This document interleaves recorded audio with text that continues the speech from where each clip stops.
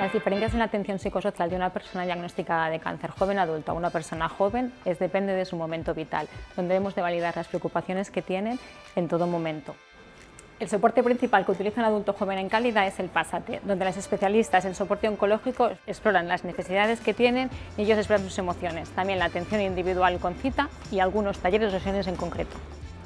Los retos que tiene calidad para mejorar el acompañamiento para el adulto joven es crear grupos de soporte donde puedan explicar y compartir el momento vital en el que se encuentran y crear actividades atractivas que tengan beneficio en su bienestar.